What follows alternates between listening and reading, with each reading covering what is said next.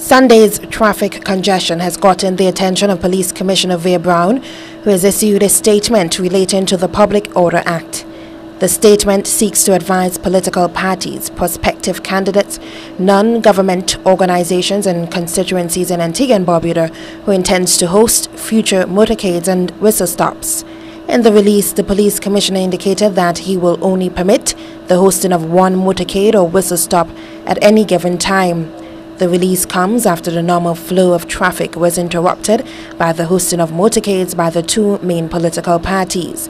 Recently, the police commissioner and top officials within the Royal Police Force of Antigua and Barbuda held an inaugural meeting with political parties to outline the code of conduct.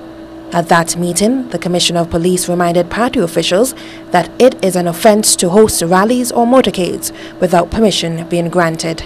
The meeting was held as public awaits the official announcement of the upcoming general elections. Zara Lavier, ABS News.